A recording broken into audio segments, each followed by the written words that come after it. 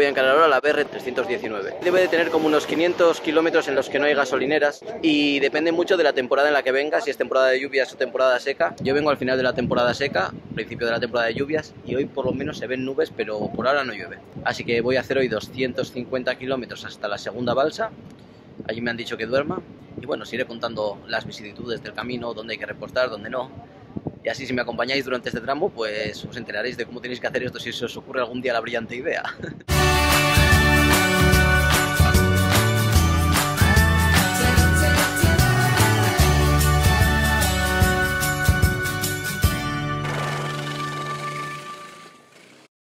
Yo de Linden Alete me lo pasé muy bien. Las maletas no se han divertido tanto, han sufrido lo suyo. Tres rajas tiene, mira. Ay, no gano para disgustos. Dos. Y tres rajas. Si mañana sigo para Manaus, si puede ser, porque está empezando la temporada de lluvias y es que tengo que llegar ya. Hemos venido a la playa de Punta Negra, que es una playa de agua dulce, obviamente, porque estamos muy en el interior de Brasil. Y ha venido Gengis a, a buscarme, que es un motoquero de aquí, y ha venido también aquí en Misa a conocerme también. Y aquí estamos los tres. Se hace, se hace demasiado turismo, lo que hay que hacer es motos y cervezas. Open road.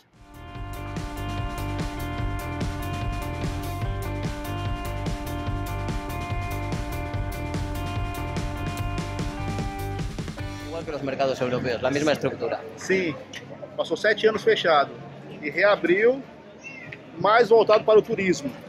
Ah. Canalizou a água, tudo limpinho aqui.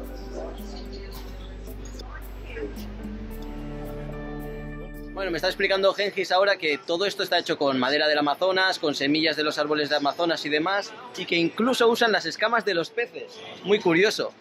Para hacer, por ejemplo, esto, todas estas son escamas de pirarucú, que es un pez grande que probé, no sé si os acordáis, con el asaí en Belém. Pues Todo vai Ela- experimentar. O jambu em si, ele tem cálcio, ferro, fósforo, vitamina B1, B2, B3, Uau. vitamina C.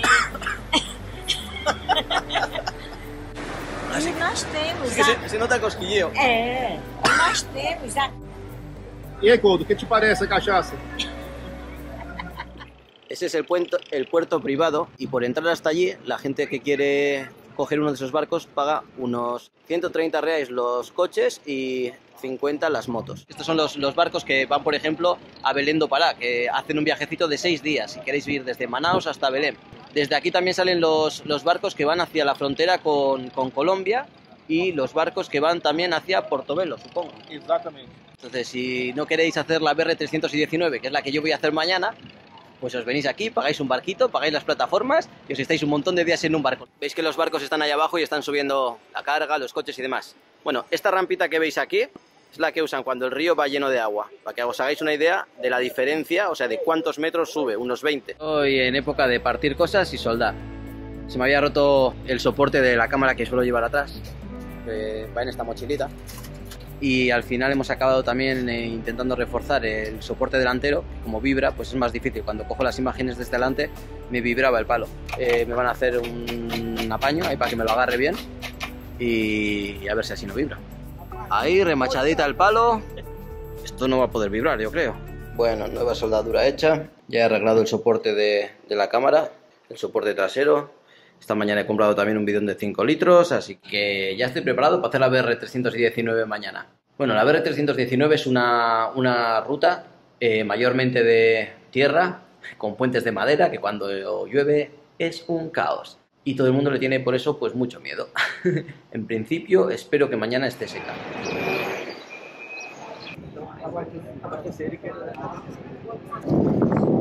Pues ya estoy en la balsa que, que me cruza desde Manaus hasta Careio. Aquí se da un fenómeno muy curioso. Se juntan el río Negro con el río Solimoes. Como podéis ver aquí, las aguas no se juntan. Mirad, el fenómeno que os decía del agua.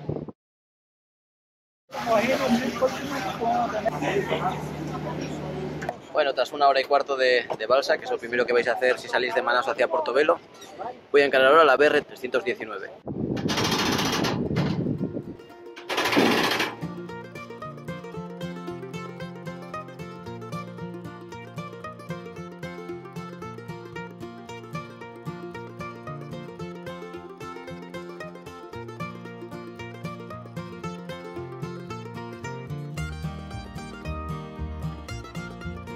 He llegado hasta Careiro Castaño, que está a 100 kilómetros del ferry y es la última población con gasolinera. Entonces voy a echar gasolina, voy a llenar todos los bidones, todo lo que tengo y voy a comer y voy a seguir porque me quedan todavía 90 kilómetros más de, asfalto que quiero aprovechar hoy.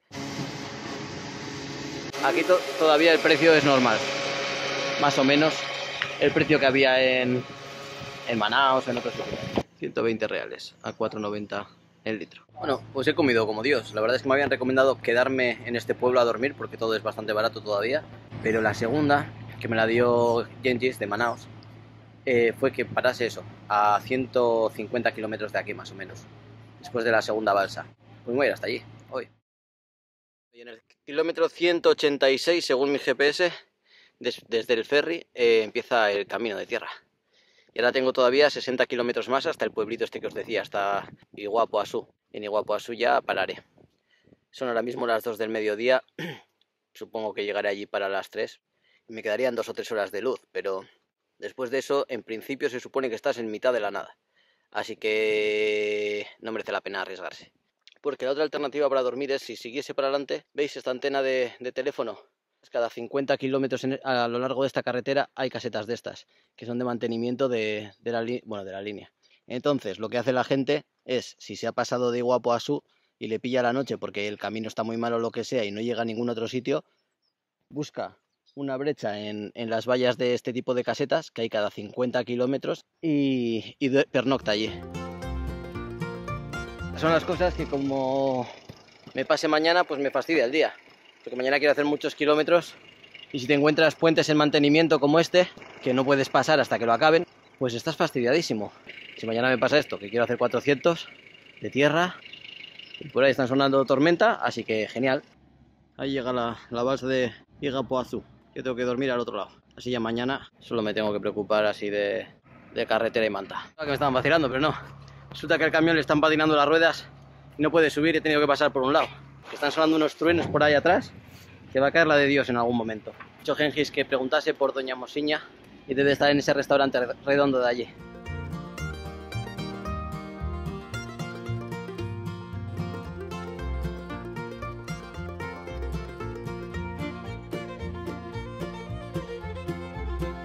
Para mí que igual lo llueve y todo, un poco solo.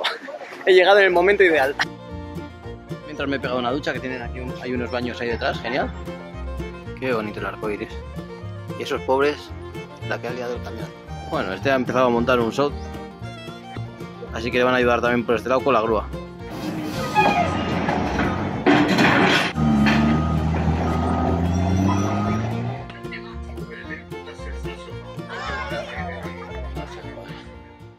Ese cacharro no ha dejado de hacer ruido en toda la noche.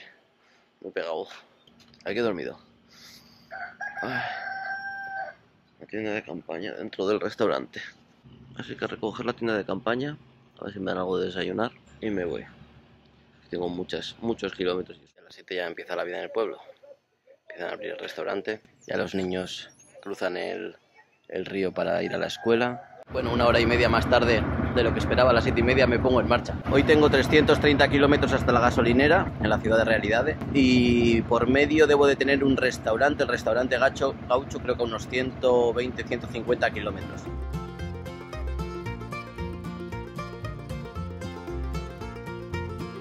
Pues la carretera está genial, la verdad. Lisita, lisita, o sea, es como una carretera no asfaltada. Y empiezo ahora a oír un y yo alucinaba y decía, ¿y esto qué es? Y ahora mismo justo estoy pasando un tramo medio asfaltado, que se me ha ocurrido parar, menos mal. Y el guardabarros, o como se llame, de la cadena, pues no sé por qué ha cascado y se ha metido para adentro. Genial, ¿no? Estos viajes son la hostia. He pasado el puente que aquí había una pequeña sombra, por si me lleva mucho rato. Que aquí pega el sol. No son ni las ocho y media de la mañana y hace ya un calor que te mueres. Así que a ver si soluciono esto. Se ha metido, pero por ahí sacarlo no va a ser fácil. ¿Y esto? Adiós.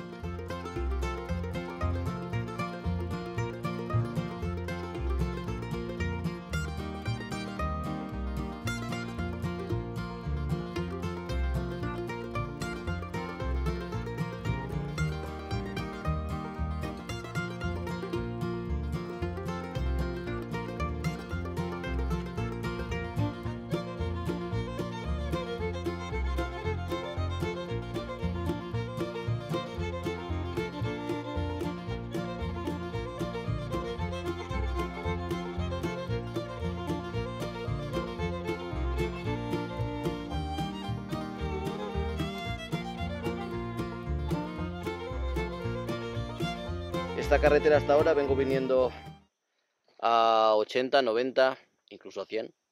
Bueno, carretera. Aquí veis carretera. Va cambiando de, asfalto a tierra todo el tiempo.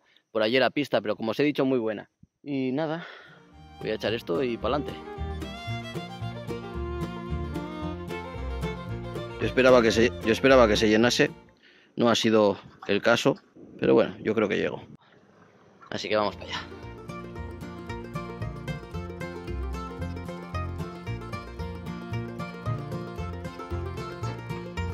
Estoy a 150 kilómetros de realidad, pura fantasía amazónica. y me decían, un motero que conocí cuando salía de la ruta de la Guyana, del Etem, o sea, del Linden al Etem, que a 150 kilómetros tiene que haber un restaurante, no lo he encontrado todavía, que se llama El Gaucho. Y que ahí debería preguntar dónde están los, los pozos de arena. Ya es como polvo. Y que la gente va muy rápido y ha pasado con varios moteros que iban muy rápido y para cuando lo ves ya estás encima, la moto empieza a volverse loca y que ha habido gente que se ha roto brazos, piernas, que se le ha acabado el viaje. Así que voy a parar en el gaucho, si lo encuentro, y voy a preguntar y me tomaré un guaraná así fresquito, que hace un caloraco. Y nada, ya poco a poco hacia realidad, ¿eh? a ver si echo gasolina. Esperemos que llegue.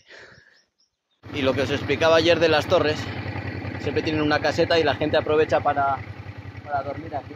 Esa por, ejemplo, esa, por ejemplo, en la misma puerta, no sé si lo apreciáis, tiene un buraco ahí, en la valla. Se lo habrá hecho alguien que precisaba dormir y decía, aquí no me quedo con los jaguars, me voy dentro.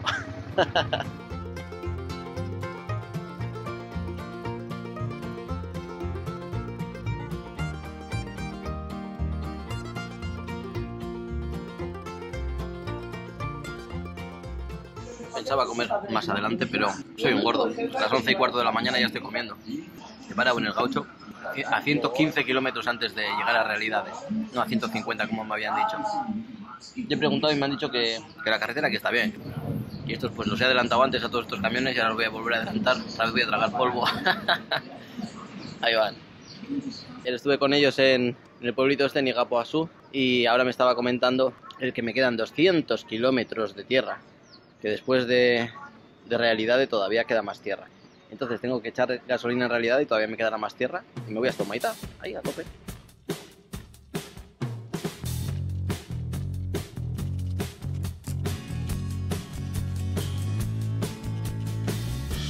Acabo de llegar a Realidades y me quedan 93 kilómetros para llegar a, a Humaita. Ojo, el señor acaba de, de, explicar que no tienen energía, entonces que como no tienen electricidad, las bombas no, no giran y no sale gasolina.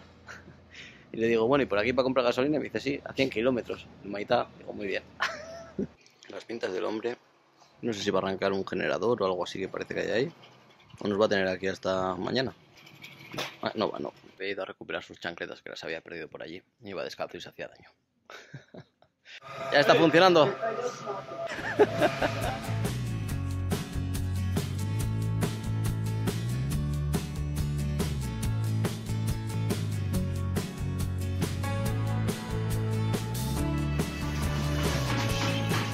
Bueno, dos días por ahí perdido en la Amazonía, unos 700 kilómetros, 400 de pistas, 500 sin gasolina, un show. ya va teniendo mejor pinta. Estaba pensando ahora mismo que de los pozos de arena esos que me habían dicho de polvo y no sé qué, yo no he visto nada. Que yo no digo que no estén, pero será en otra época o en otro estado de, del camino, porque yo vi, he venido rápido ahí sin ningún problema. Ahora ya solo me quedan 100 kilómetros para llegar a, a Portobelo y voy a ir a la Honda a ver si, si podemos arreglar el cubrecadena. Ahí están intentando arreglarme la pieza. Ah, yo que va a dar certo, ¿no? Sí. Me han regalado también el lubricante para la cadena, que ya no me quedaba, esta mañana ya se me había acabado. Así que genial. Cada X meses también toca renovar el vestuario, que se me van rompiendo las camisetas. Moto arreglada, ropa comprada. Maravilla. Efectivamente, había conseguido evitar la lluvia una vez más. Me pegué una paliza y en día y medio conseguí atravesar la BR-319, porque estaba seco. El camino estaba perfectamente liso y podía ir muy rápido. Sin embargo, Matías Robano y Paulina, que vinieron una semana después, no tuvieron tanta suerte, y ellos tardaron casi el doble o el triple en cruzarla. Así que es importante, como explicaba en los vídeos anteriores, tener un poco de inteligencia viajera para elegir bien la ruta y sobre todo la temporada en la que vas a hacer esa ruta. Y así he llegado hasta Bolivia, que también tiene una carretera muy parecida a la BR319 y que por desgracia no fue tan sencillo.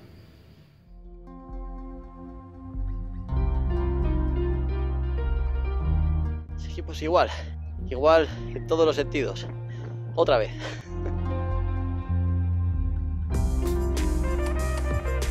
Y 50 metros, otra. Solo estos 180 kilómetros están siendo... Al final el coche, él lleva la moto. Ah, no podía más, no podía más. Jodido.